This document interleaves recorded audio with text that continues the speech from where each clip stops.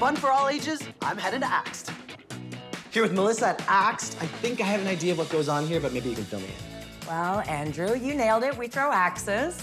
And how did you get into that? Uh, so I went with my husband um, almost 10 years ago, and we left with grins from ear to ear. What does the typical axe thrower look like?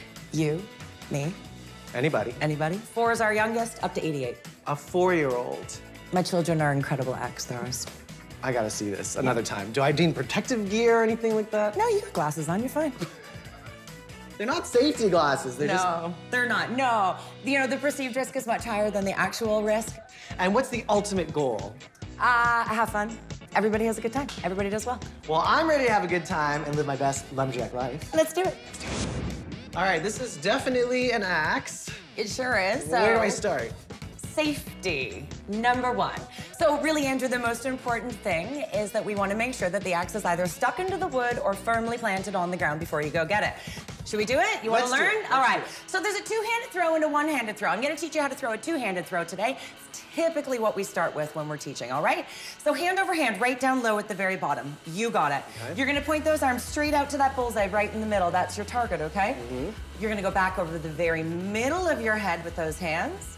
You're gonna take a nice natural step, and then you're gonna point your hands straight out in front, directly to the target, in a Charlie's Angels style pose. Step, point, hold, Angel. Step, point. Good morning, Charlie. Good morning, Charlie. You got it. All right, are you ready to give it a go? I think so. Ha! What happened to your arms? I didn't hold. No, Angel. I didn't Try hold. I again. forgot Try about it. again. Maybe I need like plaid or something. Oh, we can hook you up.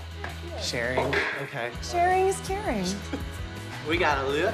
Okay. There you go. This is gonna help me a ton. I can feel it. Here we go. Ready? Yeah! We're getting there. all plaid all day.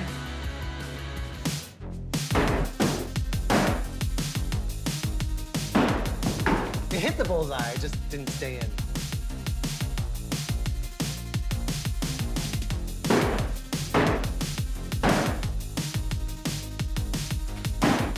Bullseye! Bullseye! Thank you, Melissa. That was super fun.